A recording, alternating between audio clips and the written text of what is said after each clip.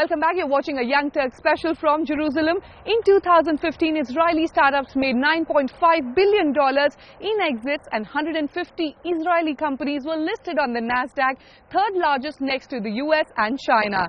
As the domestic market for these startups is very small, they think global from the word go. Thus, it is no surprise that Israel is third in the world for US registered patents. There are 300 R&D centers for innovative tech companies like HP, Microsoft, Google and Facebook in Israel. I caught up with a few startups based out of Israel. Take a look at their innovations.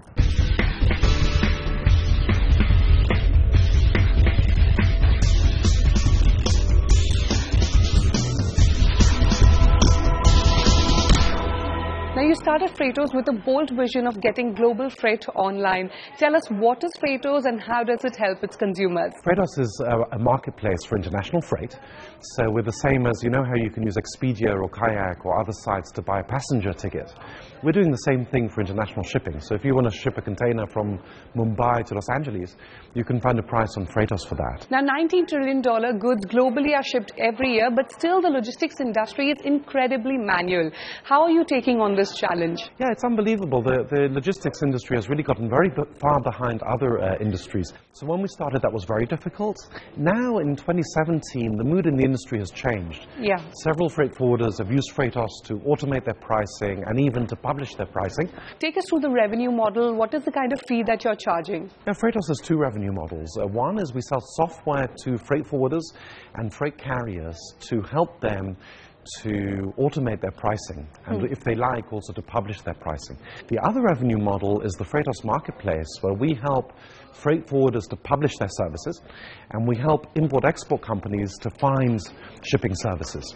And that's a marketplace model. We take a small percentage from the sellers every time we bring them an order from the buyers. Now you've received $25 million in funding till date. Where have you spent the funds? And also are you looking at raising another round? So yeah, Freightos has been using the funds to build our technology, to build our massive uh, database of freight pricing right around the world, uh, and of course also for sales and marketing. Yes, we will be looking for more funding to continue the rapid expansion. You know, to really build this into the global success that Freightos deserves to be, it will take uh, substantial capital. Now, last year you acquired a logistics tech startup in Barcelona. Are you looking at any more acquisitions? Our main growth strategy at Freightos is organic. But we're always on the lookout for some shortcuts if there are opportunities to make an acquisition, like there was with an excellent company uh, called WebCargoNet in Barcelona. If we see other opportunities like that, uh, we won't be shy to make more acquisitions as well. So you entered India only last year. What are the future plans with the Indian market? So India is an important market for us. We work already with a couple of freight forwarders in India. We work with uh, Trade India, the, the portal.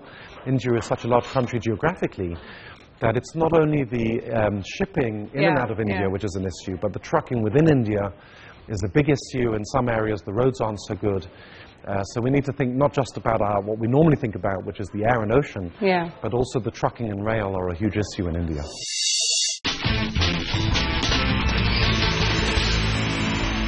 Sight Diagnostics is pioneering an innovative computer vision platform for fully automated blood diagnostics. Tell us how. We are able to take a drop of blood and with a unique sample preparation process, process that we invented, yeah. we are able to prepare it for uh, our device to examine it. And we have algorithms that were trained based on mm-hmm. a very large data set of images to do exactly what a person will be able to do with the eye. I believe your first application is the 300 million annual malaria test worldwide. We actually thought about starting with malaria yeah. because first that's a huge problem with not very advanced solutions currently. Sure. And also the, the, the market really needs it and the burdens for, or regulation burdens are pretty low. Mm -hmm. And, and we are actually pretty active now in Africa and India, in many different places.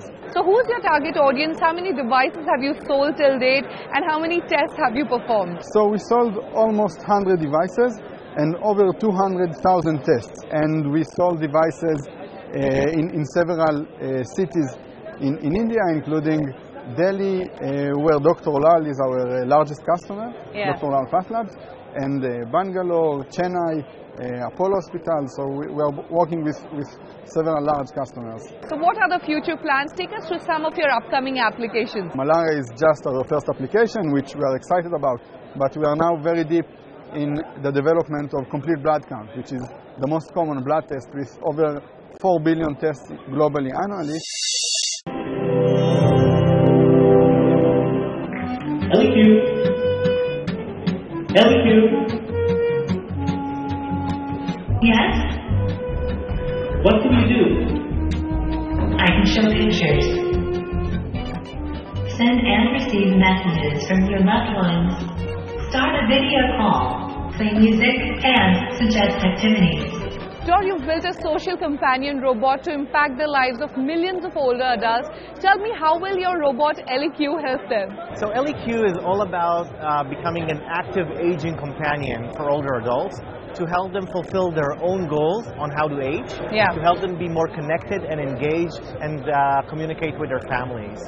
The first main thing she does is she helps uh, families and older adults communicate Yeah. by basically allowing them to share pictures and smileys and content, but then for the older adult to very frictionlessly and very easily um, see that content and respond to that through a voice control system. So, what is the USP of ElliQ? How is it different from assistants like Siri or Alexa? Yeah, so ElliQ is extremely different from Alexa or Siri in that, that these products are reactive, meaning they wait for the user to say, Alexa, play me some music. Yeah. Here, ElliQ actually has a cognitive ability. She's fully autonomous. She sees, she listens, and she analyzes the scene. And then she um, figures out, based on the goals you set, is this a good time to interrupt you? Okay. And if so, should I offer you maybe to go for a walk? Sure. Or maybe I should say, hey, let's listen to some Frank Sinatra. Or maybe she should remind you to take your medicine on time. How soon will we see ElliQ hit the market? Uh, we're starting trials now. And basically, based on the feedback of the trials, we'll see how great the experience is. We really want there to be a delightful experience for the product. Sure. It's not trivial to expect older adults to build a meaningful, emotional relationship with a robotic companion. Exactly. Uh, yeah. it's not obvious for us to expect that people that are traditionally laggards in adoption of technology will actually be able to use this, although we're working very hard to make the interaction intuitive. Okay. Um, so based on the re- those results, we'll decide when we're going live into the market. So, what is the price point at which ElliQ will be available in the market, and what is the kind of revenue model that you've devised for Intuition Robotics? It will most likely have a component of an upfront fee and a monthly service because we do provide a service. Okay. Um, we hope that, it, um, or we expect it to be um, along the lines of other high-end, sophisticated consumer electronic products to start. It is safe to say that the air is filled with the innovation spirit wherever I go. Time now for a short break, but when we return, I bring you more innovations from Israel.